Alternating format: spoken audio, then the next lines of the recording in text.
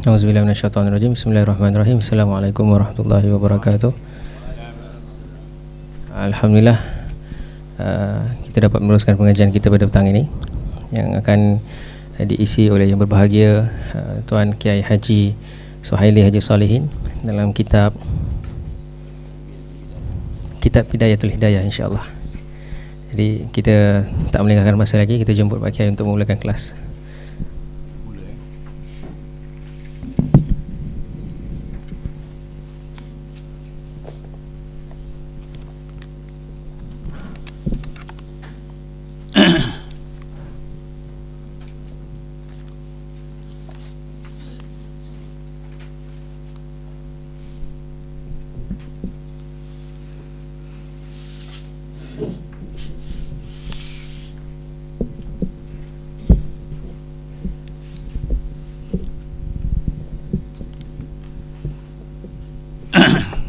Bismillahirrahmanirrahim. Ila hadratin Nabi Mustafa Muhammadin sallallahu alaihi wasallam wa ila arwahin jamil anbiya wal ulama wal awliya wa syuhada wa salihin wa ila arwahi jami man bisa ahli kubur. Minal muslimin al musliman wal mu'minin al mu'minat khususan min a'immatil muhaddisin wal mufassirin khususan min ahli wa ahli hadhihi jamaah. Şeyhu lillahi lahumul fadiha A'un billahi minasyaitanirracim Bismillahirrahmanirrahim. Alhamdulillahi rabbil alamin. Ar-Rahmanirrahim Maliki yawmiddin. Iyaka na'budu wa iyaka nasta'inuh Dinas siratal mustaqim. Siratal ladhin an'amta alayhim. غير المدوب عليهم ولا الضالين.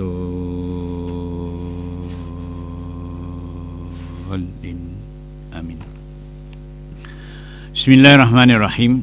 الحمد لله رب العالمين والصلاة والسلام على أشرف الأنبياء والمرسلين وعلى آله وأصحابه أجمعين. اللهم اهدنا هداية للصواب. ربنا افتح بيننا وبين قومنا بالحق. Wa anta khairul fatihin. Amin. Ya rabbal alamin. Bismillahirrahmanirrahim. Bismillahi wa bi nasta'inu. Alhamdulillahilladzi dalla bi wujudihi jami'al kainan.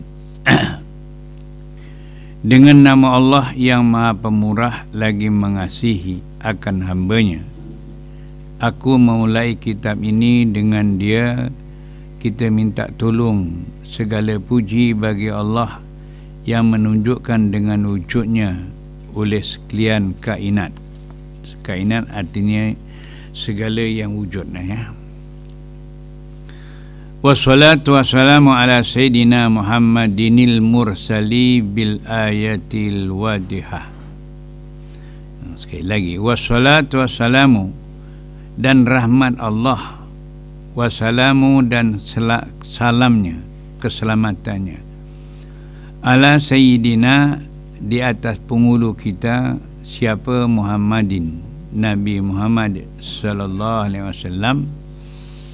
Al mursali yang di yang diutus ya yang disuruh daripada Tuhannya bil ayati dengan beberapa ayat alamat ya. Al-wadiyati yang nyata. Alhamdulillah. Ah begitulah uh, peringatan ataupun uh, cara si penyusun kitab ini nak memulakan apa saja ilmu Allah Subhanahu Wa Taala dia tak lupa baca alhamdulillah dan selawat. Ya ini sebagai satu cara ya. Satu cara oleh kerana ilmu yang kita pelajari yang kita ikuti ini adalah ilmu datang daripada Allah bukan daripada manusia. Walaupun pada zarinya saya menyampaikan tapi sebenarnya saya dan tuan-tuan semua ibu-ibu semua yang memberi ilmu ialah Allah. Ya. Allah yang memberi ilmu kepada kita. Ha. jadi kalau kita ha, dapat memahami ilmu yang kita dengar yang kita pelajari yang kita ikuti walaupun sesama kita yang menyampai tapi Allah yang memberi jadi bermakna kita kena ikut peraturan Allah. Ya kalau kita tak ikut peraturan Allah takut. Ilmu yang kita uh, pelajari kita peruli itu yang pertama sekali nak kita terima dan fahami itu menghadapi masalah. Ha, itu di, di antara tandanya ya. Kita dengar kadang-kadang susah nak faham ya. Itu di antara tanda-tanda Allah uh, belum beri beri kepada kita ilmu. Pasal kita tidak mengikut peraturannya. Jadi apabila kita memahami ilmu itu Allah yang akan memberi jadi ah, kita ikut peraturan Allah Subhanahu Wa Taala ya. Jadi pada mula jadi baca alhamdulillah jadi sebagai tanda kesyukuran ya. Alhamdulillah itu sebagai tanda kesyukuran kita kepada Allah kita mengucap alhamdulillah ya. jadi kita bersyukur kepada Allah itu bukan dengan hanya baca saja kita bersyukur kepada Allah para ulama ada memberi tiga garis panduan ya. Pertama asyukru bilisan. Artinya kita syukur dengan lidah. Ya. Yang kedua wasyukru bil jinan. Kita syukur kepada Allah dengan hati. Ya. Ha, dengan hati kita. Dan yang ketiga kita syukur kepada Allah bil arkan dengan anggota ya tiga ya syukur dengan lidah dimasukkan dalam hati dan dibuktikan dengan perbuatan itu anggota namanya kalau kita cuma baca alhamdulillah saja tapi tak masuk dalam hati. Itu namanya syukur kita belum menepati dengan kehendak Allah. Sedangkan kalau kita sebagai hamba Allah bersyukur kepada Allah Subhanahu Wa Taala maka apa yang kita peruli itu akan bertambah-tambah. Ya. Kita apabila dikurniakan oleh Allah Subhanahu Wa Taala nikmat apa saja nikmat dan kita bersyukur ha, kita memuji kepada Allah. Maka nikmat yang Allah kurniakan kepada kita itu bukan hanya kekal saja malah akan bertambah-tambah lagi ha, kita akan dapat nikmat itu tadi. Ini berpandukan kepada firman Allah Subhanahu wa taala wala in syakartum la azidannakum. Sekiranya kamu bersyukur aku akan tambahkan lagi nikmat itu. masya-Allah ya. Ha, jadi kita dikurniakan Allah taala nikmat dan kita gunakannya dengan sebaik-baik. Jangan salah gunakan nikmat. Itu namanya syukur. Ya. Umpamanya lah alhamdulillah kita pada hari ini diberi oleh Allah Taala kesehatan ya kalau tak sihat duduk kat hospital agaknya tapi Allah telah beri atas kurniakan kepada kita kesehatan kesehatan yang Allah kurniakan kepada kita alhamdulillah kita gunakan dengan sebaik-baiknya untuk menyambut seruan Allah. Kita hidup kat dunia perlukan kepada ilmu. Memang kita dah belajar ilmu ya? Alhamdulillah setakat ini. Tapi ilmu Allah Subhanahu Wa Taala maha luas ya lagi-lagi dalam bidang kita memahami ilmu tasawuf ilmu makrifat ini masya-Allah ilmu yang tidak ada habisnya. Ya makin kita pelajari makin banyak yang perlu kita nak nak tahu. Ya insyaallah. Ya jadi apabila kita syukur kepada Allah uh, kita diberi oleh taala nikmat kesihatan. Jadi kita gunakan dengan sebaik-baiknya kita boleh melapangkan masa uh, berada dalam majlis ilmu. Tak kira siapa pun ya niat. Saya pun duduk majlis ilmu ya. Duduk majlis ilmu ni di antara duduk yang paling disukai oleh Allah ya. Kalau kita ditanyalah banyak-banyak duduk duduk mana yang Allah paling suka? Duduk dalam majlis ilmu ya. Ha, apabila kita duduk dalam majlis ilmu ya ha, kita cari ilmu Allah Subhanahu Wa Taala duduk kita itu sangat dihargai. Ya. Di antara penghargaan kita sebagai hamba Allah ni ya apabila kita duduk saja dalam majlis ilmu tengok Rasulullah sallallahu alaihi wasallam beritahu julusu sa'atin 'indal ulama'i ahabu ila Allah min ibadati alfi sanatin. Duduk dalam majlis ilmu lebih kasih kepada Allah daripada ibadah seribu tahun. Walaupun masa yang singkat. Hati ini penghargaan ya. Julusu sa'atin indal ulama ahabu ilallah min ibadati alfi sanatin. Ya. Duduk dalam majlis ilmu walaupun masa yang terlalu singkat nilainya lebih kasih kepada Allah daripada orang tu tak duduk tapi dia ibadah puasa zak apa puasa sembahyang zikir istighfar seribu tahun lebih berharga duduknya di dalam majlis ilmu. Ini semua penghargaan. Ya, memberi semangat kepada kita. Pendek kata kalau kita ada ruang majlis ilmu kita tak datang, kita tak tak tak, tak turut sama. Bermakna kita kena ingat kita menghadapi kerugian yang sangat rugi iaitu apa dia ibadah seribu tahun umur kita pun tak sampai seribu tahun nak dapat 100 tahun pun tak semua orang ya. ya. Tapi apabila kita duduk saja dalam majlis ilmu dengan orang beribadah seribu tahun lebih besar lagi. Sekarang memang kita tak nampak. Kita boleh nampak melalui ilmu mata hati. Ya. Kita boleh nampak, boleh tahu melalui hati kita apabila disinari uh, dikurniakan Allah Taala ilmu. Ya. Jadi kalau you know, sumber ilmu atau uh, puncanya ilmu adalah al-Quran dan al-hadis. Ya. Jadi saya bacakan tadi iaitu hadis Rasulullah sallallahu alaihi wasallam.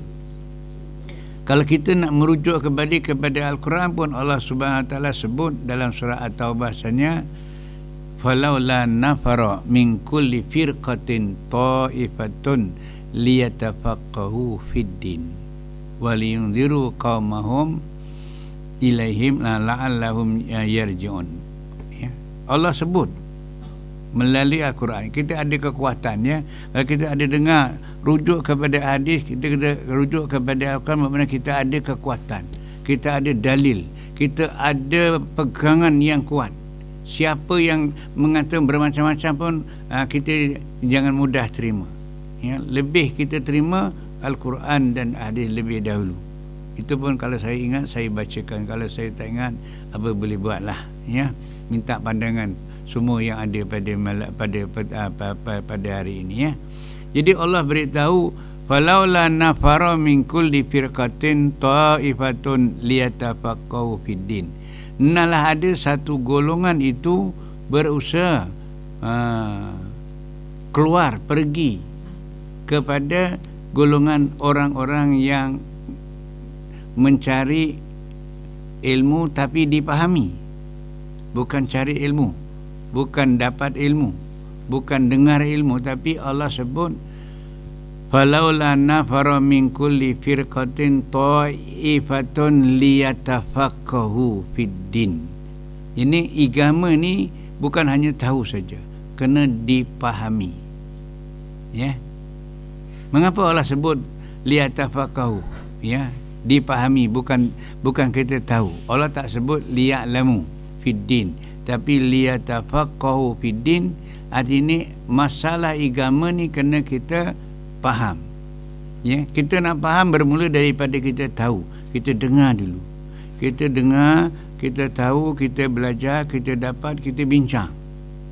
Baru dapat kepahaman dan perbincangan kita ini jangan ikut uh, pandangan kita saja tapi kita kena rujuk kepada pandangan para ulama-ulama yang telah dikurniakan oleh Allah ya ha, terhadap ilmu tadi supaya uh, apabila kita ada pandangan para ulama-ulama yang Allah telah kurniakan kelebihan ilmu tadi kita ada kekuatan.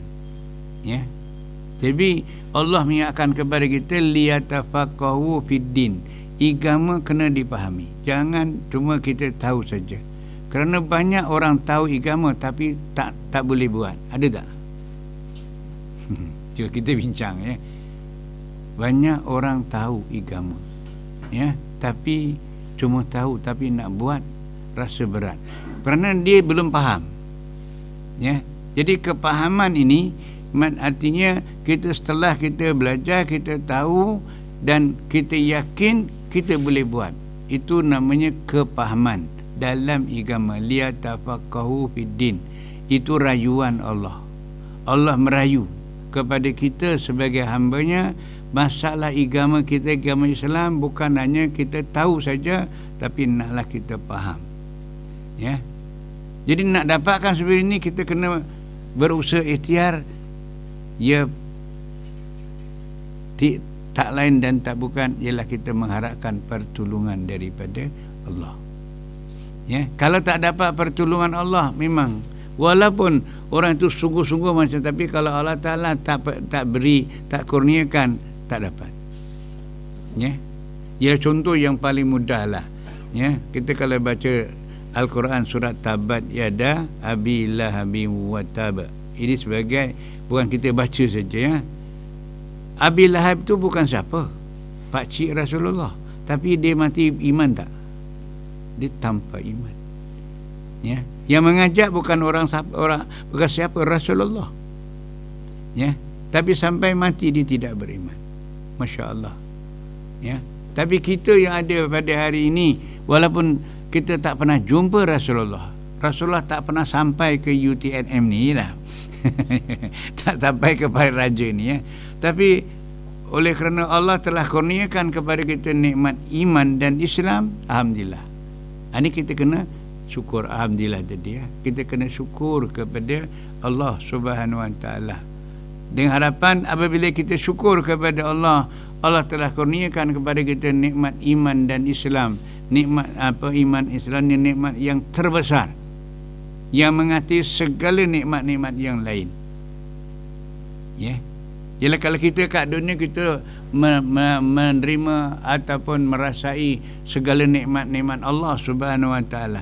Tapi melalui nikmat iman dan Islam ini kita akan mempuri, memperuli dan mendapatkan nikmat Allah Subhanahu Wa Taala yang lebih berharga dan lebih besar dan lebih banyak daripada nikmat Allah yang Allah kurniakan kepada kita sekarang ini kat dunia. Ya, untuk mengambil perhatian lah, untuk mendapatkan pahaman lah, ya. Allah Subhanahu Wa Taala mempunyai seratus rahmat ya. Allah mempunyai seratus rahmat. Inna lillahi mi'ata rahmatin ya. Rasulullah beritahu sesungguhnya Allah memiliki mempunyai seratus rahmat. Ya. Uh, Angzala minha rahmatan wahidatan fil ardi. Yang Allah turunkan kurniakan kepada kita kat dunia ini sebagai khusus sebagai manusia cuma satu saja rahmat. Tengok ya. Kita kat dunia ini kita me, me, menikmati apa sajalah yang setakat ini kita telah peruli ya. Itu cuma daripada serat, satu, daripada satu rahmat Allah yang seratus tadi. Ya. Itu pun satu rahmat ini digunakan oleh semua makhluk kalau ibarat kata makhluk yang ada di alam dunia daripada kita manusia pada malaikatnya uh, pada hayawan ayahnya seterusnya lah. Pendek kata uh, makhluk yang tak nampak jin ke iblis setan. Itu satu rahmat itu dibagi-bagi kepada seluruh makhluk ni Ialah kalau mana malaikat kita uh, manusia, malaikat jin, ya, apa hayawan seterusnya, kalau empat ibanalah ibana bermakna kalau satu rahmat yang untuk kita manusia kalau untuk golongan empat tadi cukup kita cuma dapat satu per empat saja. Ya. Ini nikmat yang kita nikmat Allah yang kita rasai peruli semasa kita kat dunia daripada seratus satu rahmat itu kena masih lagi bagi empat. Bila kalau ibarat kita yang ada ni diberi kesenangan, kemewahan seterusnya lah itu baru satu per empat. Ya. Habis kalau lah nikmat Allah Ta'ala tu seratus yang diturunkan kadunya baru satu bermakna Rasulullah pun beritahu wadakhara tis'atan wa tis'ina rahmatan. Ya. Maka kalau seratus baru tolak satu bermakna ada baki lagi tis'atan wa tis'aina ninety nine ya. Kalau seratus tolak satu bermakna ada sembilan puluh sembilan lagi rahman Allah subhanahu wa ta'ala. Ini ya ya tarahamullahu biha ibadahu yaumal kiamah. 99 rahmat tadi kita akan peruli besok apabila kita berada di hari kiamat. Ya.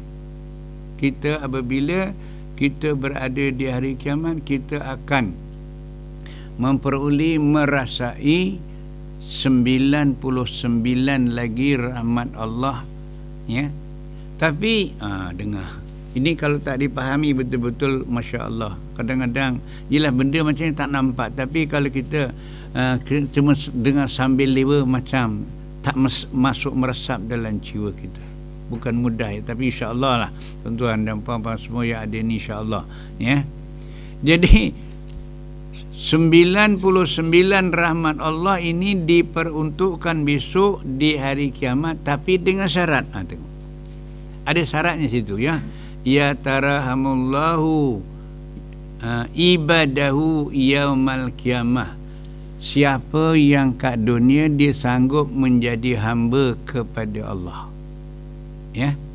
Siapa yang kat dunia ini dia hidup kat dunia dia sanggup menjadi hamba kepada Allah Subhanahu wa taala Allah uh, Rasulullah beritahu dia akan memperuli mendapat 99 lagi rahmat Allah Subhanahu wa taala. Ya. Jadi siapa itu kita sebagai hamba Allah tidak lain ialah orang yang beriman, beragama Islam yang taat kepada perintah Allah dan perintah Rasulullah. Ya. Orang yang jadi hamba kepada Allah ibadahu hamba Allah tadi ialah seluruh orang yang beriman ke dunia ini yang taat kepada perintah Allah dan perintah Rasulnya dia akan memperoleh 99 rahmat Allah Subhanahu Wa Taala. Kalau ada manusia kat dunia dia tidak uh, taat kepada Allah, dia tidak beriman kepada Allah, tak percaya kepada Rasulullah, maka orang ini terkecuali. Ya. Orang ini terkecuali daripada nak mendapatkan 99 rahmat Allah. Siapa dia? Iaitu orang tidak beriman lah. Ya. Orang yang tidak beriman Dia cuma dapat kadonya Satu per empat tadi ya. Yang 99 tidak akan mereka peruli Sebab itu Mereka kalau mati tanpa iman Selama-lamanya dalam neraka. Orang yang dapat 99 rahmat ini Ialah orang yang selamat Jadi ahli syurga. Dan kita nak masuk syurga Syaratnya mesti kita kadonya beriman. Beragama Islam beriman ini sebagai syarat ya. Sampai Rasulullah bersumpah wallahi la tadkhulul jannah hatta tu'minu. Sampai begitu Rasulullah ingatkan kepada kita demi Allah kamu tidak akan masuk syurga sehingga kamu beriman. Ini bermakna kata-kata Rasul ini kena jaga betul-betul. Ya. Ya kalau sampai-sampai sumpah ya demi Allah tidak kamu akan masuk surga sehingga kamu beriman. Ya. Wala tu'minu hatta tahabu. Kamu juga ada iman tapi iman kamu belum dapat menjamin keselamatan kamu besok di akhirat. Hatta tahabu. Sehingga kamu kat dunia ada sifat berkasih sayang sesama umat Islam. Ya. Kita kat dunia ni kena ada sifat kasih sayang. Ya. Sifat kasih sayang ni bukan hanya kepada kita sebagai umat Islam uh, saja tapi berkasih sayang kepada makhluk Allah Subhanahu Wa Taala. Kalau kita tidak ada sifat kasih sayang kepada makhluk Allah Taala pun juga takut nanti tak dapat rahmat Allah Subhanahu Wa Taala. Yalah kalau kita uh, bincang sedikitlah uh, di antaranya lah uh, laporan-laporan yang terkini kita dah, kita dengar. Gempa bumi di Nepal itu di antaranya binatang lembu yang dibunuh dengan syariah itu di antaralah kita buat kajian itu semua kerja Allah subhanahu itu bermakna kita tidak ada sifat belas kesian ya? yeah. Kita nak dapat rahmat Allah naklah kita ada sifat belas kesihan kepada seluruh makhluk Allah Subhanahu Wa Taala. Lagi-lagi kita sebagai orang yang beriman, masya Allah. Ya. Tadi sampai sebut kamu tidak akan dapat iman kalau kamu tidak ada kasih sayang kepada sesama kita sebagai umat Islam. Ia cantik. Hmm. Pukul ya. Alhamdulillah cantik satu satu idea pada dia ya. Kita nyamuk uh, gigit kita kita pukul, kita bunuh. Maknanya yang dimasukkan kita belah kesian ni kalau kita nak bunuh, bunuh terus bunuhlah. Yang jadi tak belah kesian ni kalau kita tangkap, dia tarik sikit dia punya ke, uh, kepalanya. Atau ini misal lah, tarik dia punya sayapnya satu, kakinya satu, ya. Kalau kita uh, jumpa musang ke tangkap kat orang tu pasal nah diculik dulu matanya dulu tak ada gitu ya. Uh, itu namanya kita tidak ada sifat belas kasihan ya sebenarnya dalam Islam ni kalau umpamanya ada uh, binatang lah yang dia buas iaitu membahayakan kita dibunuh makin diperintah. Tapi cara membunuhnya biarlah dengan jangan menyiksa terutama dibakar. Ya dengar ya. Kita membunuh apa saja dengan dibakar ini satu larangan yang keras ya. Kalau dalam hadis kudusi Allah berfirman ana ahaku bil azabi binar yang menye- yang uh, berhak menyiksa dengan api cuma aku saja. Jangan kau manusia sehingga si, apa uh, menyiksa uh, sesuatu apa makhluk dengan api. Ya? Melainkan kalau tak ada cari jalan lain. Itu terkecuali ya? Kalau masih ada cari jalan lain ialah atau kita elakkan jadi jangan kita menyiksa dengan uh, kita membunuh dengan penyiksaan. Didera dia macam-macam. Kalau nak bunuh terus bunuh. Tidak salah dalam Islam. Takkanlah kita ada lipan ah, ah, li, ah lipan-lipan kau gigit aku lah aku sayang dengan kau. Ah, itu namanya sudah salah guna. Ya ya bahaya. Ya itu ibarat kata lah. Begitulah alhamdulillah cantik itu dia ya. Jadi kita kena kena berfikiran panjang. Kena uh, apa ber, suka, bersuka apa suka bertukar fikiran. Supaya kita tak salah gunakan apa yang diberitahu kepada kita begitulah tadi ya. Jadi insyaallah mudah-mudahan ya. Jadi berbalik kepada tadi syarat kita nak dapat nikmat 99 rahmat Allah besok di akhirat syaratnya kita jadi hamba kepada Allah. Kita jadi hamba kepada Allah kita kena beriman dan beragama Islam. Ya. Sebab itulah seluruh dunia manusia yang beriman dan beragama Islam pasti dia pasti baca sekurang-kurangnya sembilan kali assalamualaikum alaina wa ala ibadillahi salihin kita baca dalam sembahyang tahiyat ya. Kalau kita baca tahiyat dalam 24 jam kan 9 kali ya. Baru nak kira tak patut juga ya. Kita dah sembahyang hari baru nak kira. Kita satu hari baca tahiyat berapa kali? Satu tu nah itu namanya macam tak tak tak berapa sembahyang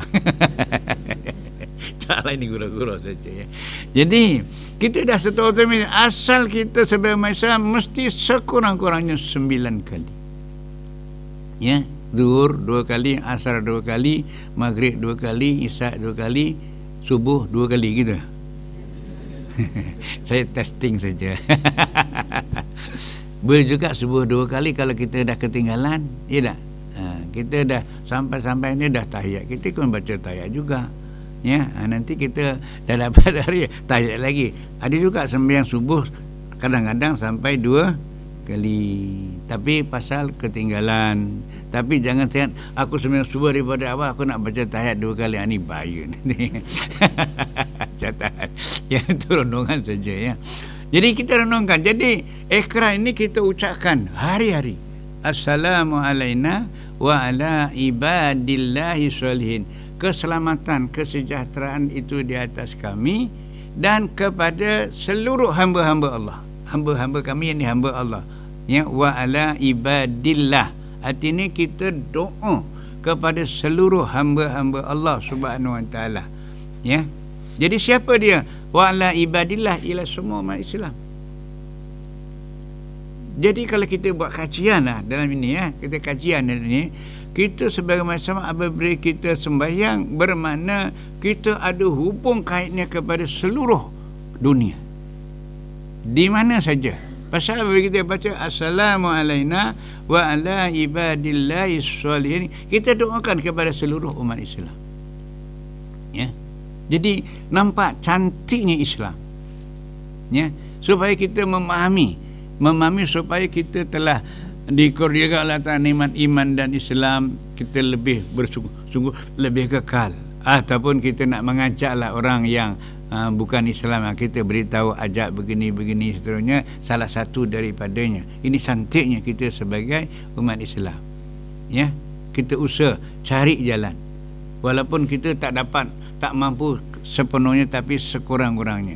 Jadi apabila kita kita muzakarah seperti ini barulah nanti tanda kesyukuran kita kepada Allah. Allah telah kurniakan kepada kita nikmat iman dan Islam yang menjadi syarat ya kita nak selamat besok di hari kiamat.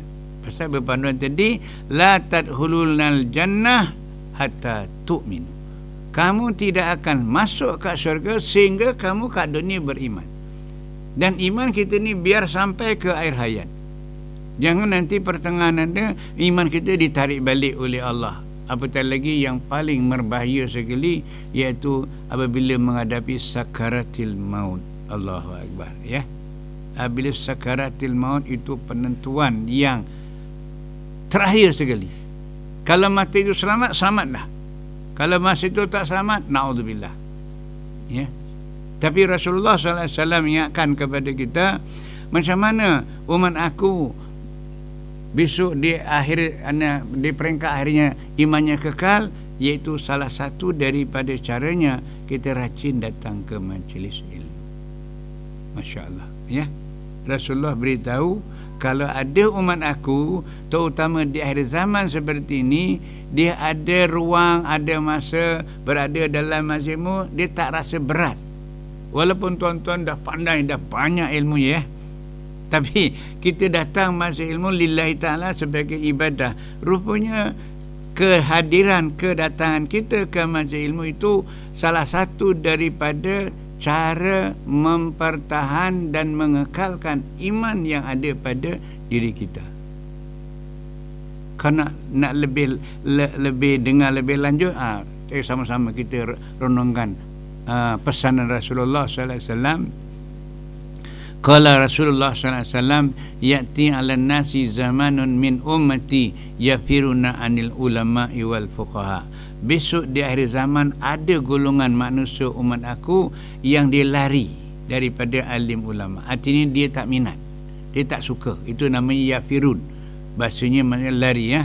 Besok ada berlaku di akhir zaman ada golongan manusia umat aku yang dia sifatnya ya firuna anil ulama. Ya kalau diajak diberitahu ada majlis ilmu dia lari tak suka tak minat. Ya. Kalau sekiranya berlaku seperti ini mudah-mudahan jangan sampai berlaku pada kita semua ya dan kalau boleh kita uh, berdoalah kepada uh, uh, keluarga kita semuanya jiran-jiran kita semua. Insyaallah mudah-mudahan dikurniakan oleh Allah dia nak dengar ceramah ni. Biasa kita. Ya. masya-Allah ya. Ha, kita doa begitu. Minta mohon kepada Allah SWT jadi kalau ada umat aku besok di akhir zaman lari daripada alim ulama tak suka datang ke majlis ilmu fayabtalihimullah bisalasi baliyatin orang itu akan dikurniakan tiga bala. Allahu akbar tahu. Naudzubillah ya. Siapa yang tak minat tak suka datang ke majlis ilmu majlis muzakarah di, akan dikurniakan dengan tiga bala. Kini tolong ambil perhatian. Pasal tiga-tiga ni kita semua tak nak. Tapi akan berlaku kata Rasulullah ya pasal apa? Tak minat. Apa dia tiga bala yang pertama yarfa'allahu barakata fi kasbihim. Kerjanya tidak diberkati oleh Allah. Walaupun gajinya sampai 2 3 4 5 ribu perniagaannya maju tapi kalau berniaga tahu kenyanya nak diajak majlis ilmu Jawabnya no time katanya. Aku tak sempat. Misalnya contohlah kita. Ha, Ini bermakna perniagaannya Walaupun untungnya banyak Tapi tidak berkat. Makin banyak Makin tak cukup. Makin jauh daripada Allah. Sehingga nak digunakan untuk sedekah pun Alah sayangnya Kata dia. Ya? Itu namanya Yarfa'ullahul barakata fi kasbihim. Kerjanya tidak diberkati oleh Allah Subhanahu Wa Taala. Itu yang pertama. Kita bincang aja nanti bila-bila masa kita uh, tuan-tuan dah banyak pengalaman. Yang keduanya wa yusallitullah alim sultan zulman. Artinya balak yang ketiga sifat kezaliman akan menguasai dirinya. Naudzubillah. Ya. Sifat zalim ini akan menguasai terus-menerus pada dirinya. Ya. Maknanya sifat zalim ni artinya kalau kita diberi peluang perkara-perkara yang baik kita tak nak buat. Ya kita buat dek saja kita buat tak tahu saja. Jadi itu namanya kita zalim kepada diri kita sendiri. Jelas contohnya kalau saya kata ditonton pada di, pada petang ini sanggup datang duduk. Duduk kita dikira ibadah seribu tahun. Kita tak datang. Bermakna kita zalim tak kepada diri kita kita tak dapat nilai dalam buku dari kita. Pada hari ini semua ibu-ibu semua yang ada ditulis oleh para malaikat. Nanti balik saja daripada majlis ditulis kamu dapat pahala ibadah seribu tahun pada petang ini. Pasal apa? Duduk dalam majlis ilmu. Lillahi ta'ala ibadah tapi jangan kerana itu ya. Lillahi ibadah kita duduk majlis ibadah semata-mata kerana Allah subhanahu wa ta'ala ya. Ini contoh saja boleh kita berfikir uh, zalim tadi setiap 24 jam. Setiap 24 jam 24 jam ada peluang amal baik tapi kita buat tak tahu saja. Ya macam nanti kita lepas ni ada peluang kita sembahyang asar berjamaah kalau sampai waktunya. Ya sembahyang asar berjamaah ni selain daripada duduk kita dapat pahala umrah. Ya kalau orang di Mekah sana dia boleh buat umrah. Kita kat sini macam mana kita nak dapat pahala umrah? Sembahyang asar di awal waktu berjamaah di Mesir atau di surau kita dapat satu umrah. Tapi ditakdirkan nanti hayalah solat. Kita pergi ngeteh pulanya tak nak pergi sembahyang jamaah. Ini namanya zalim. Kita zalim. Ya kita tapi kita tak perasan kita zalim. Ya pasal kita tak dapat pahala umrah. Orang-orang kalau pahala umrah kita nak pergi umrah orang-orangnya lima ribu. Setengah kadang-kadang enam ribu berapa lah jadi benda itu berlalu begitu saja. Ya. pasal apa? Itulah tadi tak tak minat tak suka duduk dalam majlis ilmu. Kalau dia cari ilmu pun tak cerita macam-macam ini dia cuba cari ilmu kerana uh, nak dapat sijil saja. Minta maaf lah. Ya, nak cari kepentingan dunia saja. Itu ilmunya tidak berkat, tidak manfaat. Sebab itu awal-awal lagi saya beritahu dulu ya, awal kali ya. Setiap kita datang duduk majlis ilmu, niat kita ibadah kerana Allah. Itu yang pertama sekali. Ya, wa ma umiru illa liya'budullaha mukhlisina lauddin. Surat bayyinah lam yakunil ladina kafaru. Itu sebagai asas pokok utama. Ya. Apa saja yang kita buat termasuklah kita duduk masih ilmu nak dapat ilmu daripada Allah dapat berkat dan manfaat kedatangan aku ke majlis ilmu adalah niat ibadah kerana Allah. Bukan kerana malu dengan kawan. Bukan kerana tak dapat ganjaran pahala seribu tahun punya ibadah. Ya. Seterusnya lah. Walaupun kelebihan keistimewaan tetap diberitahu ya tapi Jangan kerana itu. Ha, ini yang selalu saya uh, saya sampaikan ada uh, kalau saya ceramah kepada orang Jawa saya cakap Jawa. Ini cakap orang tua-tua Jawa dulu ngono tapi ojo koyong ngono. Ha, ini bahasa ni gitu ya. Ngono tapi ojo kaya ngono. Yang Jawa dah, senyum dia yang tak Jawa nak apa Ustaz cakap ni? Ngono tapi ojo kaya ngono. Bahasanya begitu tapi jangan gitu. Ha, gitu bahasanya dia begitu tapi jangan gitu. Artinya kita buat amal mesti ada memang diberitahu ini untungnya. Tapi jangan kerana pahala. Ya. Itu Allah nak beri pahala itu kerja Allah bukan kerja kita. Kerja kita boleh beramal boleh datang masjid ilmu. Ya kalau nanti kita boleh amal sembahyang jamaah sembahyang jamaah bukan kerana aku nak dapat 27 ganjaran pahala. Itu itu semua janji Allah. Allah tidak akan menyalahi janji. Tapi kita beramal lillahi taala. Ikhlas. Ya. Bukan kerana malu dengan kawan. Kadang-kadang juga malu dengan kawan. Itu Bapa mertua aku pergi masjid kok aku tak pergi masjid. Ya malu aku. Dia pergi masjid kerana malu dengan bapa mertuanya ataupun bakal bapa mertua. Ha dia lagi-lagi lebih malu. Ya aku nak jadi menantunya kok ha, bapaknya bakal bakal berdua mertua pergi masjid semacam aku kok tak pergi. Ha, nah, jadi macam-macam macam tak begitu minat sangat. Jadi kita pergi ke masjid kerana apa? Nak dapat ampu daripada bakal bapa mertua. Misalnya contoh tapi bukan tuan-tuan tapi macam lebih kurang kadang-kadang. Kalau tak silap insyaallah. Itu namanya bukan kerana Allah. Ya kerana selain Allah. Itu namanya ada kita beramal kerana selain Allah. Itu bermakna belum ikhlas.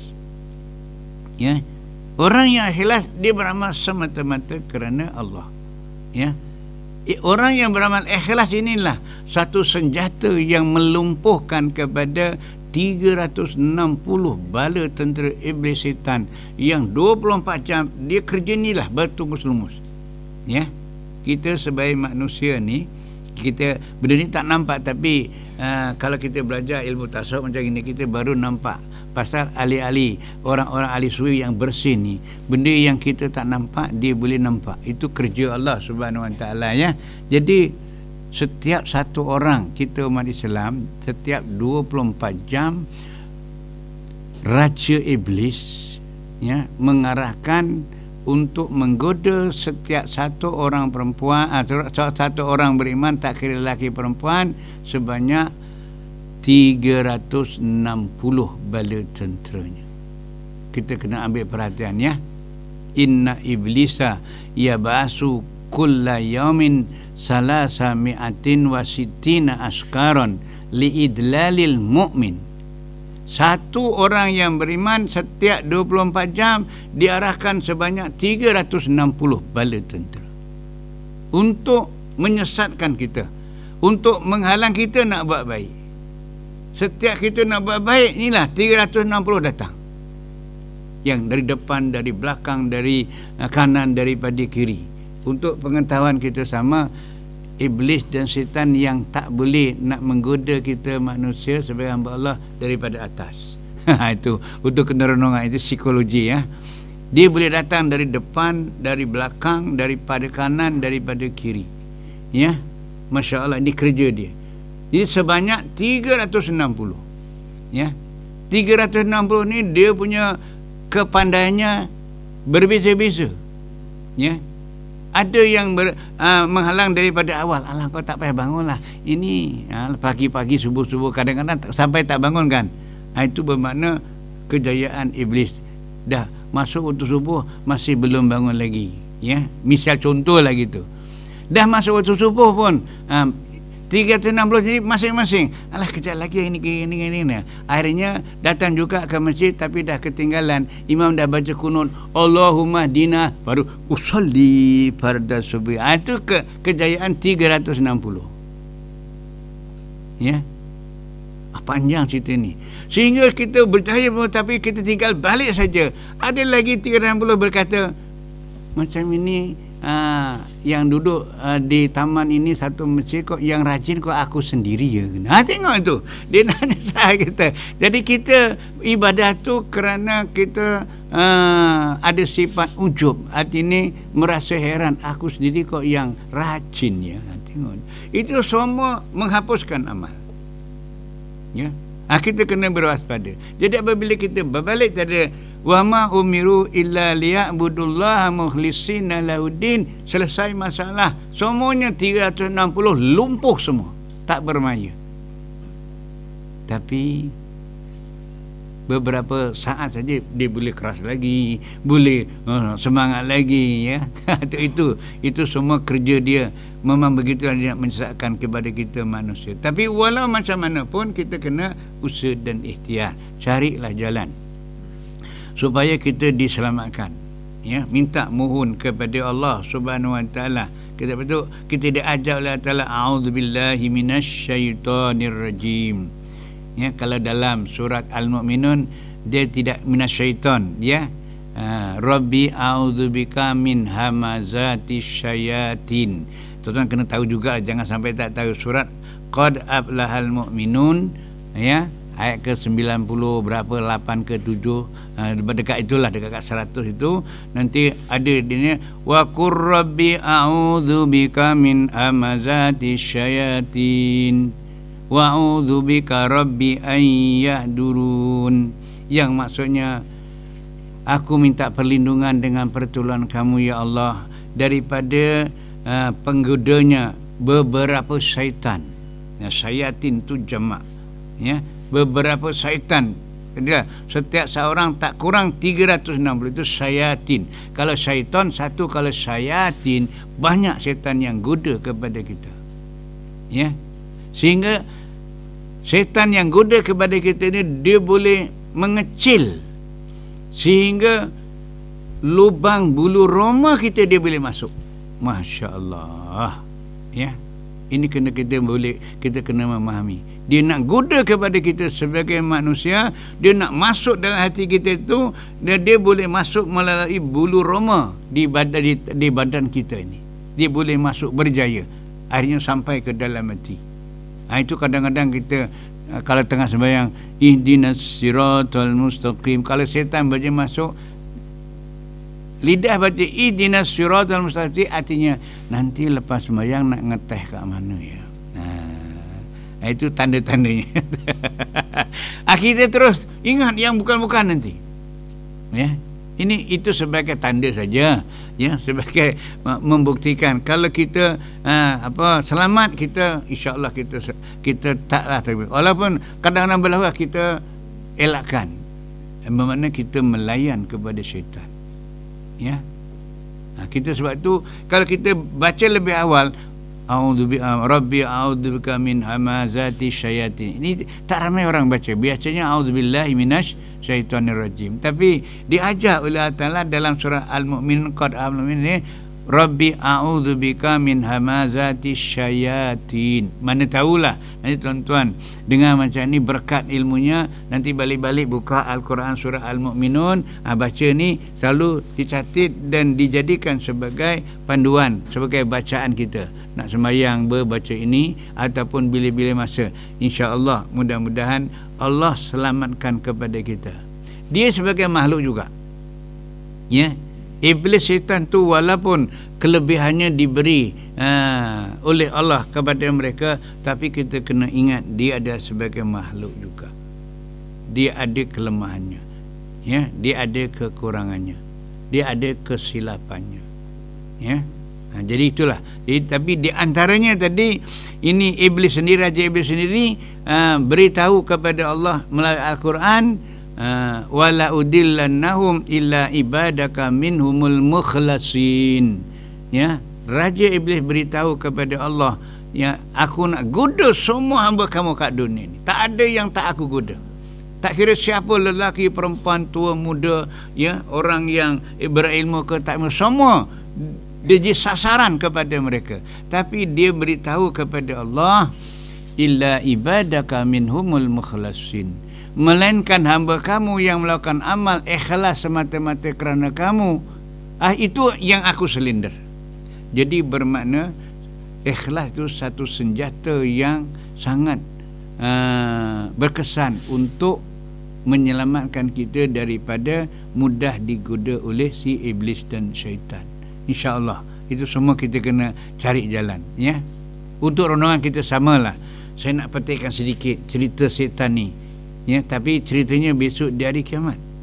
Ya, untuk pengetahuan ya. Iblis syaitan ni besok di hari kiamat baru dia membukakan uh, pandangan hati mereka. Tapi keadaannya langsung sama sekali. Tapi besok apabila di hari kiamat iblis setan ini akan bercakap. Kalau dia goda kita lah ibarat kata dia akan bercakap. Apa cakapnya cakapnya iblis sudah dirakam melalui al-Quran ya. Kalau tuan-tuan nak nak rujuk dalam surat Ibrahim ya. Surat Ibrahim nanti tuan-tuan baca wa qala syaitanu lamma qudiyal amr inna inna Allah wa'adakum wa'dal haqq ووعدتكم فأخلفتكم وما كان لي عليكم من سلطان إلا أن دعوتكم فاستجبتم لي الآية panjang ya tapi tuan boleh rujuk tapi kena tahu sekurang kita dengar pun jadilah ya tak ya. Besok di hari kiamat manusia yang digoda oleh iblis syaitan ni yang dia masa kat dia diikut ya. Besok apabila di hari kiamat akan terus dikumpulkan sama. Ya, manusia dan mak, manusia dan iblis syaitan dikumpulkan sama di hadapan api neraka untuk masuk ke neraka. Tapi dengan harapan mudah kita semua yang ada ni terselamat ya minta doa kepada ya Allah selamatkanlah kami tapi cerita ini kita kena dengar ya cerita ini kita kena dengar sekarang ya ini uh, rahsia iblis setan didedah didedahkan oleh Allah di melalui al-Quran. Apa katanya? Wa qala syaitanu lamma qudiyal amr. Syaitan akan berkata besok di hari kiamat apabila manusia yang sudah digoda maka dia ikut dia ikut sehingga dia matinya bergelumang dosa tak sempat nak bertobat besok akan dikumpulkan sama-sama di padang masyar di hadapan api neraka untuk menunggu pintu neraka nak dibuka dia akan masuk sama-sama. Dalam masa berkumpul seperti itu tengok ya dalam masa manusia dan iblis setan yang nak masuk ke neraka tengah kumpul di padang nak nak masuk neraka di kala itu setan akan berkata tengok setan berkata ya apa katanya? Hari ini kita dengan cakap setan ya. Melalui al-Quran. Allah rakamkan al-Quran ya katanya innallaha wa'adakum wa'dal haq bahawa janji-janji Allah semua adalah benar ya apa yang diberitahu Allah Taala semuanya benar ya ini setan berkata kalau dia cakap kepada kita kat dunia kan lagi bagus ya Tapi cakapnya besok di alam akhirat. Inna Allah wa'adakum wa'dal haq. Ya. Janji Allah semua apa yang diceritakan Al-Quran hadis semuanya benar. Ya. Tapi wa wa'atukum fa ahlatukum. Janji aku palsu.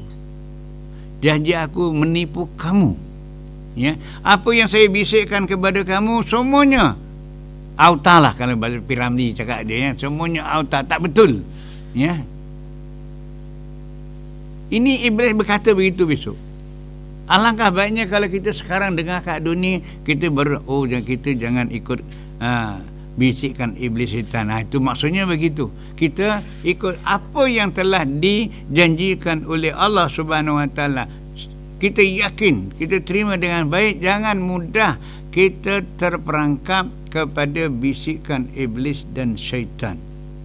Pasal dia akan berkata mendedahkan dia punya uh, apa dia punya perjalanan dia semasa kat dunia wa wa'atukum fa ahlatukum. Wa ma kana li alaikum min sultan. Tapi pada hari ini di hari kiamat besok aku tidak ada apa kuasa. Ya? Artinya kalau kat dunia dia goda kita. Kita tak nampak dia tapi dia nampak kita. Itu dia diberi kelebihan. Tapi di sana besok dia sudah tak ada seperti kat dunia dulu. Kita boleh nampak betul setan tu macam gini dulu, macam gitu rupanya. Kita kat dunia kan belum pernah nampak setan ya. Belum kan? Ha, itu contohnya lah ibarat kata. Tapi di mana-mana saja setan ada. Ya, dia tetap menggoda kepada kita itulah. Satu orang tak kurang daripada 360. Di masing-masing dia punya peranannya. Ada yang jendel setan, ada yang peribet setan, ada yang macam-macam lah ya uh, kalau orang itu uh, igamanya kuat dia syaitan ni ya uh, general general punya. Bukan second second punya lah. Ibarat kata begitulah lebih kurang lah gitu. Jadi jadi tetap, tetap digoda kepada kita. Jadi jadi apa yang diingatkan kepada kita oleh Allah Subhanahu Wa Taala? Illa anda autukum fastajabtum li. Yang aku heran ni tengok iblis cakap setan cakap ya yang aku heran ni Engkau dah tahu aku ni uh, Nipu kamu. Tak betul Yang betul Allah. Tapi yang aku pelik ni Mengapa engkau layani aku? Ha, Tengok itu. Mengapa engkau melayan Apa rayuan aku? Masya Allah. Ya. Itu besok dia sendiri cakap. Tapi cakapnya besok di hari kiamat. Tapi Allah makasih dan sayang rahsia setan, cakap setan dirakam melalui Al-Quran dalam surat Ibrahim. Kata tuan boleh rujuk nanti ya surat Ibrahim ya tak 30 berapa lebih kurang itu nanti ya, tuan boleh baca ya, kita nak tahu. Pasal bila-bila masa kita boleh rujuk. Ya kita dengar saja seperti itu tapi kita bila-bila masa kita boleh merujuk pasal ada di dalam Al-Quran ya. Jadi dia berkata illa anda autukum fastajabtum li. Aku yang heran tu. Dah tahu aku ni tak betul. Aku ni menyesatkan kamu. Aku ini membawa kamu masuk neraka dengan macam ni. Dah dah dia apa ni? Disebabkan kau ikut aku lah. Kau akan masuk neraka sama-sama aku. Tapi dia kata besok aku yang heran mengapa aku tak betul? Aku dah menyesatkan kamu. Kau layan. Seruan aku bisikkan aku kalau begini ha, tengok dia melepaskan buah kerasnya ya. Fala talumuni walumu amsakum. Sekarang kau jangan salahkan aku. Engkau salahkan diri engkau sendiri. Pasal apa? Allah betul engkau tak ikut Allah. Aku tak betul engkau ikut aku. Siapa yang salah? Ha, itu namanya buah keras ya tengok tu ya. Kalau kita dengar cakap sekarang ni kan gitu Oh, rupanya kue kurang kerjaan ya ah, cakap Jawa. kue kurang kerjaan mengesarkan aku. Allahu akbar. Kalau kita dengar macam ini, alhamdulillah kita selamat. Ya, fala talumuni walumu anfusakum. Ma ana bimusrihikum wa ma antum bimusri. Sekarang kau tak boleh selamatkan aku, aku pun tak boleh selamatkan kamu. Ayo bareng-bareng beleng masuk neraka besok. Nauzubillah. Jadi kalau kita nak selamat, ha, kita jangan melayani bisikan mereka. Ya kalau kita nak selamat. Maksudnya cerita ini maksudnya begitu. Ya ha, inilah ha, kita belajar ilmu tasawuf ini di antaranya kita nak berusaha macam mana diri kita tak mudah digoda disesatkan uh, oleh makhluk yang namanya iblis syaitan.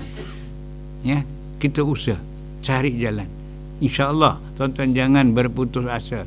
Allah sedia memberi pertolongan. Ada kita bersungguh-sungguh Ya? Ha. Jadi apabila kita kembali kepada ajaran Allah kita ha, kita ikut panduan yang diberi oleh Allah itu namanya kita berusaha kita akan selamat ya? Pasal apa? Kerja iblis syaitan ini tak ada kerja lain ya? Kerjanya kalau kita cari kepentingan dunia dibisikkan dalam hati kita tak cukup-cukup. Tak puas-puas. Ya. Iblis syaitan ni di antara dia membisikkan kepada kita sebagai khusus umat Islam kalau cari kepentingan keperluan dunia walaupun dah dapat banyak macam mana pun tak cukup-cukup juga. Ya. Sebab itu diterangkan oleh Allah Subhanahu wa taala asyaitanu ya'idukumul faqra. Setan terus membisik kepada kamu kalau kamu nak cari kepentingan keperluan dunia walaupun dah dapat pangkat tinggi gaji yang lumayan 4 5 6 10 ribu. Setan membisikkan tak cukup-cukup. Nak bertungkus semua lagi. Bila lagi aku nak nipu sana? Aku nak ngapusi orang itu. Aku nak kelentung orang itu mesti itu kerja siapa itu ini kalau kita baca macam ini Allah mudah-mudahan kita selamatlah ya Ya mudah-mudahan inilah belajar ilmu tasawuf ini di antaranya supaya kita tidak terpengaruh masuk golongan yang seperti itu. Ya, artinya kita cari kepentingan keperluan dunia sebanyak mana Allah tidak menghalang. Ya, tak salah. Pasal kita hidup kat dunia kita perlukan kepada dunia. Ya dah. Cuma yang ditegur oleh Allah Subhanahu Wa Taala kalau kita cari kepentingan keperluan dunia jangan sampai leka dan lalai. Ya? Ini yang ditegur Allah Taala. Ya? Tegur Allah Taala cukup mudah. Alhaakumun takasur yang yang sudah kita apalah nanti baca surat munafikin nanti tak apal pula. Ya ayyuhallazina amanu la tulhikum amwalukum wala auladukum an zikrillah. Wahai sekalian orang yang beriman Kamu jangan leka dan lalai Disebabkan menguruskan harta dan anak-anak kamu. Kamu leka dan lalai daripada Menunaikan seruan Allah.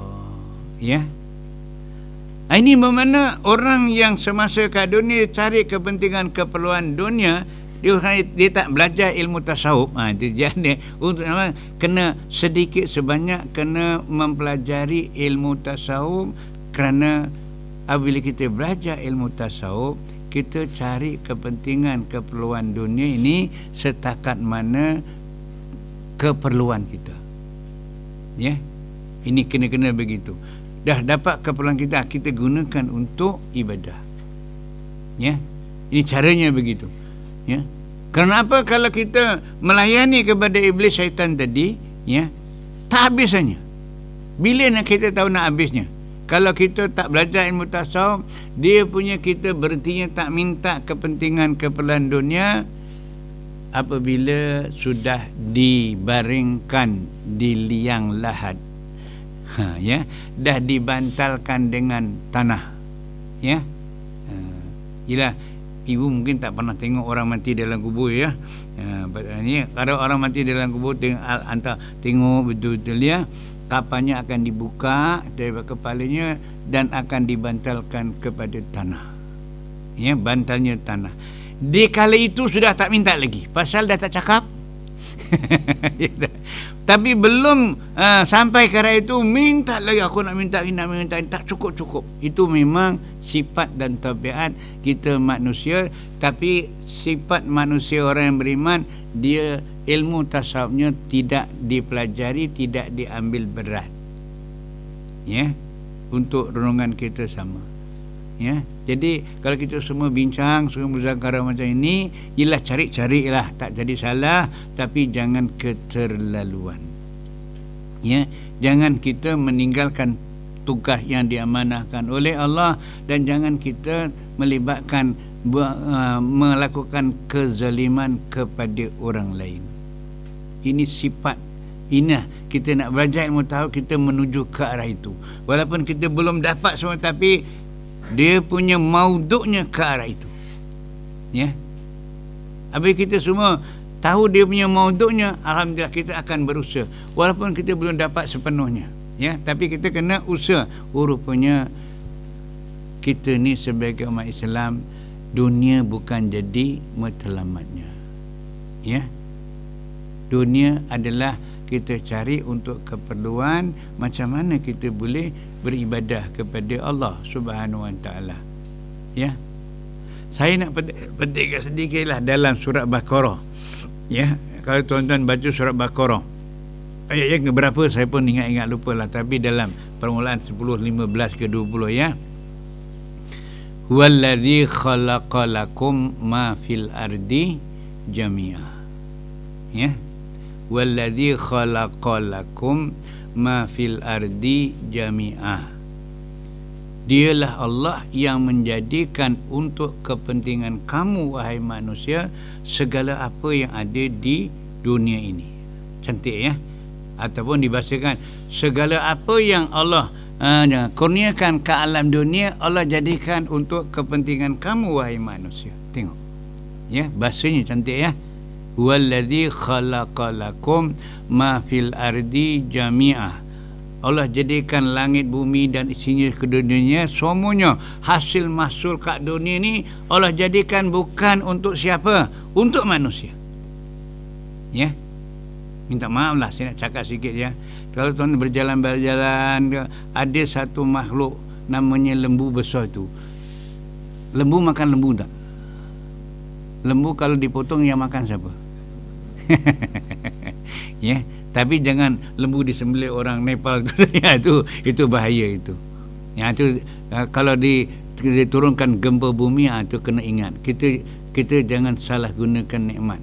Itu namanya walain kafartum inna azabi lasyadid kalau kamu diberi nikmat kamu salah gunakan tunggu saja balak bencana. Allah nak turunkan balak bencana mudah. Ya kita kena renungkan betul-betul. Ya uh, jadi Allah jadikan semua ke alam dunia untuk manusia. Ya. Wallazi khalaqalakum ma fil ardi jami'ah. Allah jadikan malaikat yang makhluk yang terlalu ramai. Dia tak memerlukan kepada lembu tadi kan. Ada malaikat makan lembu. Tak ada ya. Semuanya dijadikan untuk kita manusia.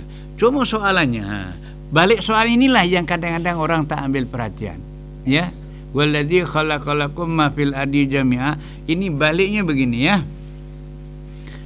Kalau semua apa yang dijadikan uh, dikurniakan oleh Allah kat dunia untuk kamu manusia ha, baliknya kenanya habis kamu manusia dijadikan untuk apa? Ha. ini yang kadang-kadang tak terfikir ya. Allah jadikan seluruhnya untuk kamu manusia. Tapi kamu manusia dijadikan untuk apa ya. Inilah cantiknya pelajaran ilmu tasawuf ni. Ya. Supaya kita uh, diluaskan pemikiran kita. Ya. Jadi soalan tadi untuk memberi jawapan uh, kita rujuk kepada uh, hadis kudusi jawapan Allah Subhanahu Wa Taala. Le- lebih mudah nanti ya. Kita ada kekuatan ya dalam hadis kudusi Allah berfirman. Ya dengar betul-betul dan ambil perhatian ya. Ad-dunya khuliqat lakum wa antum khuliqtum lil akhirah. Pindik saja ya. Mana tahulah tuan-tuan dengar yang ni dapat catat dapat ingat simpan dalam hati. Bukan selalu uh, kita dengar ya, ya. Ad-dunya khuliqat lakum. Dunia dan seisinya ini dijadikan untuk kepentingan dan keperluan kamu wahai manusia. Dengar ya. Ad-dunya khuliqat lakum. Ini hadis kudusi Allah yang berfirman ya. Tapi dalam Quran tak ada pasal Rasul apa Allah berfirman terus wahyu kepada Rasulullah tak melalui malaikat Jibril. Itu namanya hadis kudusi ya. Jadi Allah beritahu kepada Rasulullah ad-dunya khuliqat lakum.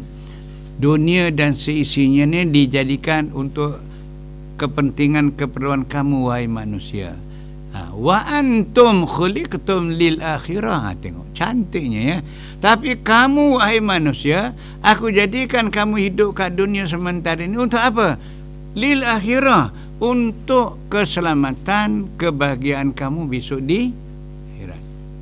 Cuba tuan-tuan yang dah banyak pemikiran yang luas. Kata-kata ni uh, tuan-tuan catat dan masukkan dalam hati. Kalau boleh hari ini dengar terus masuk dalam hati. Ya? Kalau boleh diingatkan betul-betul dijadikan sebagai perbualan kepada kita nak buat-buat ngeteh-ngeteh ke bual-bual bual, bual, perbualan kita biar berilmu berisi termasuk ni. Ad-dunya khuliqat lakum wa antum khuliqatum lil akhirah dunia dan seisinya semuanya dijadikan untuk kepentingan kamu. Tapi kamu dijadikan bukan untuk kepentingan dunia tapi untuk kepentingan akhirat. Dia punya huranya ha, huranya ini penting ya. Dia punya huranya huraiannya segala nikmat yang Allah kurniakan kepada kita kat dunia alhamdulillah kita gunakan kita terima dengan baik. Tapi setelah kita mendapat nikmat Allah Subhanahu Wa Taala ke alam dunia ini gunakan untuk ibadah ya yang mana ibadah inilah kepentingan, keselamatan, kejayaan, kebahagiaan kamu selama-lamanya besok di akhirat. Baru nampak sikit-sikit ya. Tapi tuan nampak banyak ya. Bukan sikit-sikit ya. Nampak ya. Dunia dijadikan untuk kamu. Tapi kamu dijadikan untuk akhirat. Maknanya segala nikmat yang Allah kurniakan kepada kita kat dunia ini gunakan. Macam mana? Kamu gunakan ibadah. Yang mana ibadah inilah untuk keperluan dan keselamatan kebahagiaan kamu selama-lamanya besok di akhirat. Contohnya tuan-tuan nak beri kenderaan. Tak salah kita nak beri kenderaan yang canggih ke yang istimewa ke. Tapi jangan salah guna. Ya kita gunakan kenderaan untuk buat bekerja ke untuk buat pergi masjid ke buat majlis ilmu untuk keperluan hidup kita untuk ibadah namanya. Ya? Jangan kita cari kereta lawa-lawa untuk cari guna awetnya pergi pantai lidu misal katalah denggabi itu namanya dah salah guna. Ya? Ha. jadi beginilah caranya. Ya jadi apa yang Allah kurniakan kepada kita, kita jangan lupa kita gunakan dengan sebaik-baiknya untuk ibadah. Walaupun tak kira ibadah bukan hanya sembahyang saja. Inilah kita bekerja pun ya kita ibadah kan. Ya. Ha, kita tolong orang pun hanya ibadah juga. Seterusnya lah. Jadi jangan salah gunakan. Barulah kita baru hidup kat dunia selamat, akhirat pun selamat barulah sesuai dengan doa Rabbana atina fid dunya hasanah wa fil akhirati hasanah wa qina adzabannar. Kalau kita tak belajar ilmu tasawuf macam ini, kita cari kepentingan dunia, kita lupa ke akhirat. Kita lupa untuk ibadah. Inilah kebanyakan manusia.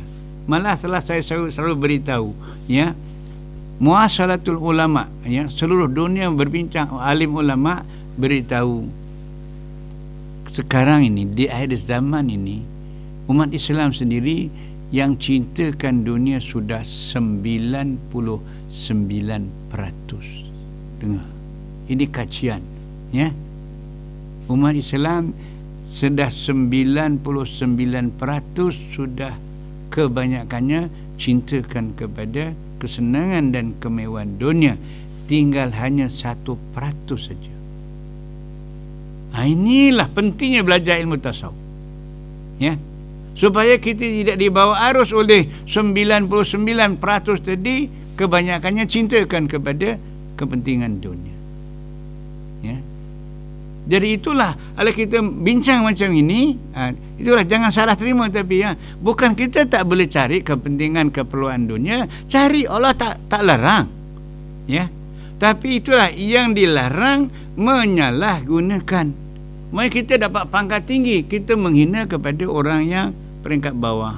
Ha, itu namanya kita diberi pangkat tapi kita lupa kita besok di akhirat bukan bergantung kepada pangkat. Ya. Bergantung kepada ketakwaan kita kepada Allah Subhanahu Wa Taala. Ya. Jadi apabila kita bincang macam ini, barulah ajaran ilmu tasawuf ini adalah sifatnya kena tolong menolong jangan sombong jangan menghina jangan zalim. Walaupun di takdiran tuan dengar kali-kali belum mampu tapi kita kena faham. Saya nak buat petikkan satu hadis lah ya Masih cepat sangat Dengar dah pukul 4 Tak perasan. Tak apa. Ya. Rasulullah SAW bersabda Hadis ni tolong ambil perhatian ya. Pasal semua terlibat ya. La yadkhulu jannah Man kana fi qalbihi Mithqalu dharatin min kiberin Masya Allah ya. Tolong ambil perhatian. Tak hafal hadisnya maknanya pun jadilah. Tak maknanya pun maksud pun jadilah kalau tiga-tiga tak dapat kebangetan kata Jawa. Melampau sangat ya tahu tak kebangetan cakap Jawa melampau sangat. Dah belajar dah umur dah lama-lama kok masih susah-susah nak dapat ilmu tadi kebangetan kata orang Jawa artinya melampau sangat lah. Ya? Ha, jadi begini ya. Berbalik kepada tadi ya. Jadi uh, kita ni diingatkan oleh Allah Subhanahu Wa Taala ya supaya kita ingat pesanan Rasulullah ya. Maknanya begini makna dulu ya. La yadkhulu jannata man kana fi qalbihi tidak akan masuk surga. Atau dimanakan tidak diizinkan oleh Allah masuk surga. Ya. Maksudnya gitu tuan. Mana yang lekas fahamlah. La yadkhulu jannah tidak diizinkan oleh Allah besok masuk surga di akhirat dia siapa dia? Ha ini dia. Man kana fi qalbihi orang yang tersimpan dalam hatinya ha, orang yang tersimpan dalam hatinya miskalu zarah hanya satu zarah satu atom kecil sangat terlalu kecil. Apa dia? Min kibrin sifat sombong. Min kibrin sifat sombong. Siapa yang kadonya dalam hati satu zarah bukan satu satu ketul ya bukan satu satu satu pikul ya satu pikul besar sangat ya.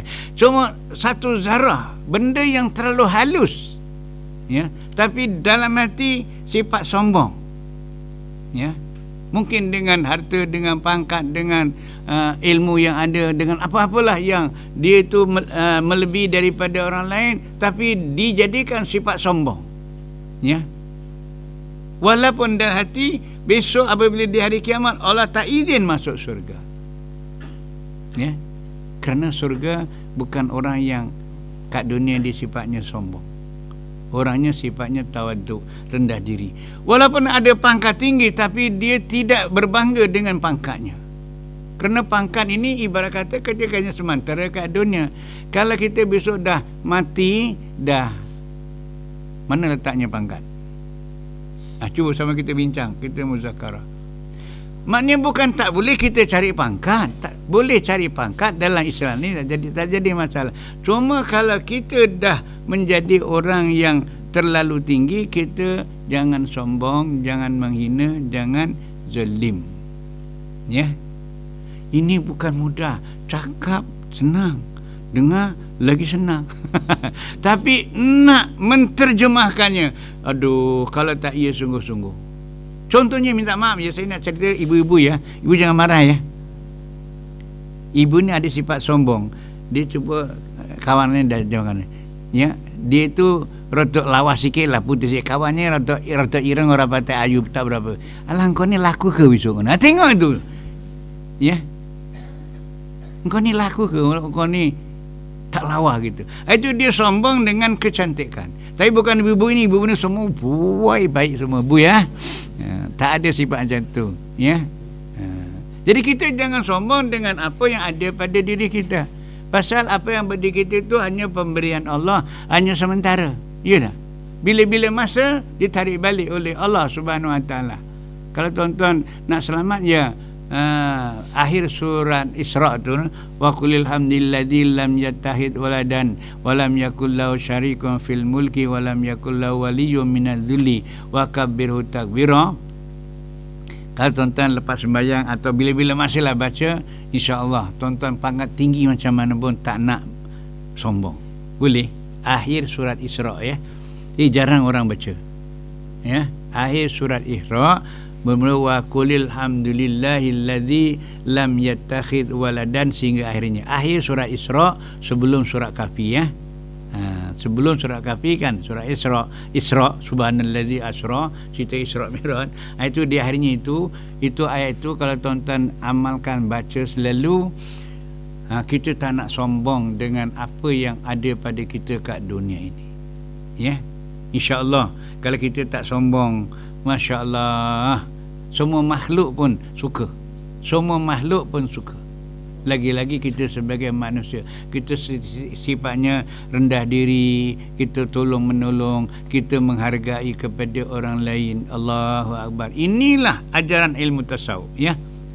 walaupun kita sudah dapat tapi sekurang-kurang kita kena faham oh rupanya kita nak mendapatkan keselamatan kena begitu ya. Pasal kita kat dunia bukan lama sangat ya Habis kalau besok tak diizinkan masuk surga kat Padang Masar 50 ribu tahun. Tuan-tuan nak sanggup duduk di Padang Masar 50 ribu tahun. Tak diizinkan masuk surga kerana saat ada sifat sombong dalam hatinya kerana pangkat seterusnya. Cuba tuan-tuan bayangkan sekarang dulu.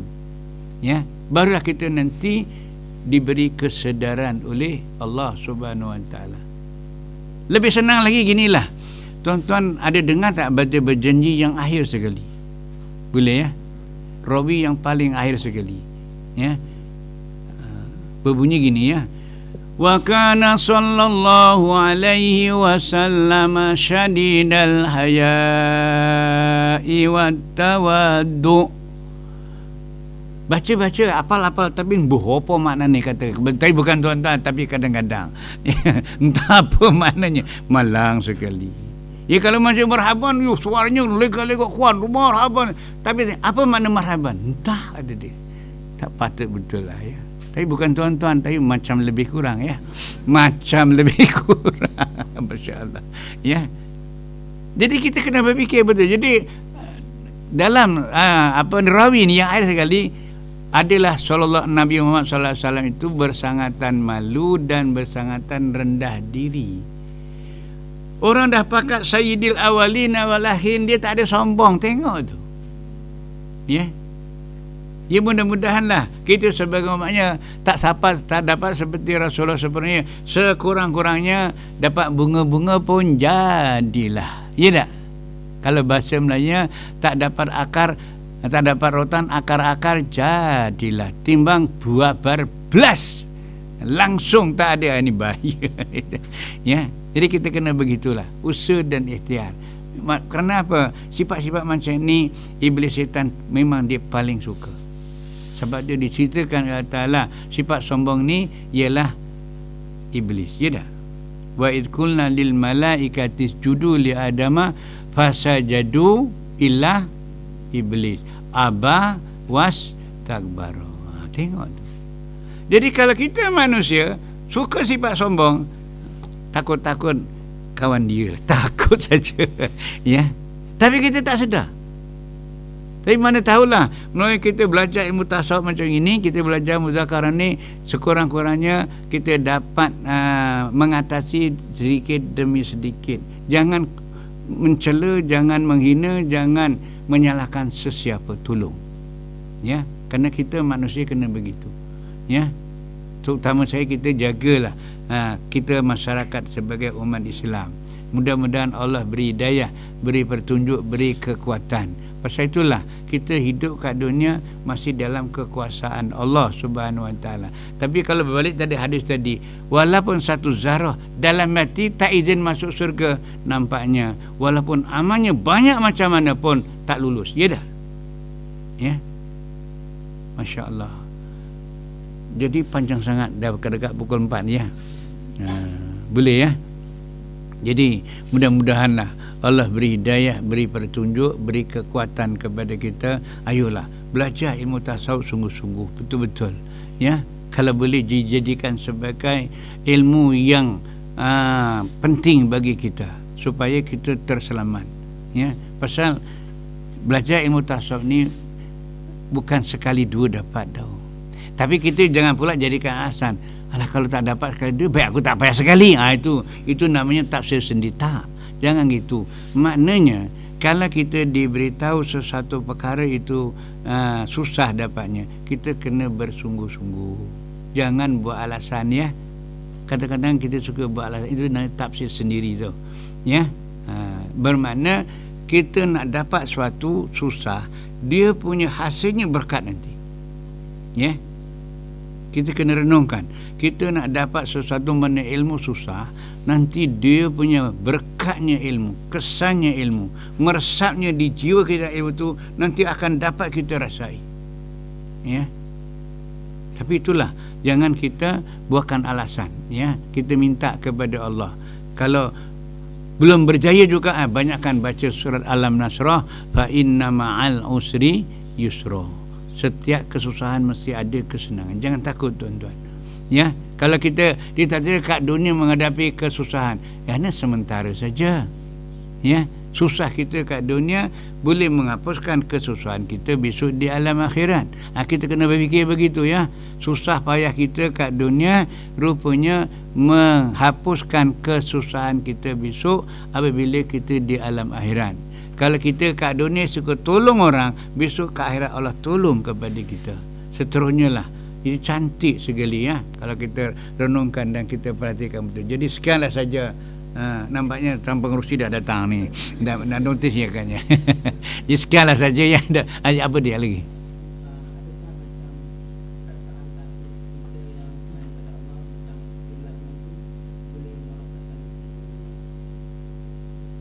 Iman kita ya. Alhamdulillah ya Dalam surat sajadah Apabila sujud tilawah Kita akan imam baca ya tajajafa junubuhum uh, anil madadi yad'una rabbam khaufan wa tama'ah. Tu. Ada perkataan khaufan tu takut wa tama'an dan mengharap-harap ya. Jadi gini Allah tegur tu pasal soalan tadi la tashawhum wa shauni engkau jangan takut kepada makhluk. Kau kena takut kepada aku yakni Allah ya. Arti ni ha, bukan kita takut kepada makhluk itu macam ini arti ni kita takut kita kepada Allah. Walaupun pada zatnya kita takut kepada makhluk umpamanya kita tak ada lesen kerana ada roblox ya takut juga ya dah ya. Ya. Tapi kita kena ingat kalau dengan uh, polis kita takut tapi dengan Allah Ta'ala kau tak takut dia. Kenapa ya Ha, ini bermakna gitu. Jadi bermakna kita kena lebih takutkan kita kepada Allah. Kita elakkan daripada kita takut kepada manusia. Takut kepada manusia cuma menyelamat sementara saja. Ya? Ha, artinya ha, kita kena ada peran. Takut kita hanya adalah semata-mata kepada Allah Subhanahu Wa Taala. InsyaAllah ya. Ha, jadi kalau ada perasaan takut maknanya kita ada anak takut anak kita besok um, jadi begini kalau tak dipelajari dalam agama. Ha, kita kena perasaan takut. Takut yang macam itu takut yang diperintah oleh Allah. Ya? Atau lebih bahasanya takut kepada Allah jangan sama takut dengan harimau. Takut dengan harimau kita makin lari jauh. Takut kepada Allah makin kita dekat. Faham tak faham kau punya pasal lah itu bahasa yang paling mudah ya. Boleh ya? Takut kepada makin kita dekat Makin datang majlis ilmu Dengar Al-Quran Dengar hadis Makin kita banyakkan amal Itu namanya kita takut kepada Allah Subhanahu Wa Taala. Boleh ya? Jadi saya begitulah Nanti panjang-panjang sangat pun uh, Takut tuan-tuan Jadi banyak Jadi sekianlah saja Yang dapat disampaikan Mana tahulah sedikit sebanyak Hanya harapan pertolongan Allah Ta'ala saja Ya saya cuma setakat menyampai setakat mana yang saya mampu. Insyaallah mudah-mudahan Allah sajalah. Walaupun hari ini tak dapat mungkin hari besok lusa baru kita dapat itu kerja Allah Subhanahu wa taala. Wallahu alam bisawab Allahumma inna nas'aluka ilman nafi'a wa qalban khashi'a wa dinan qayyima wa yaqinan sadiqa wa amalan mutaqabbala. Rabbana atina fid dunya hasanah wa fil akhirati hasanah wa qina adzaban nar. Wa sallallahu ala sayidina muhammad. Walhamdulillahi rabbil alamin. Wa balallahu minna minkum taqabbal ya Allahu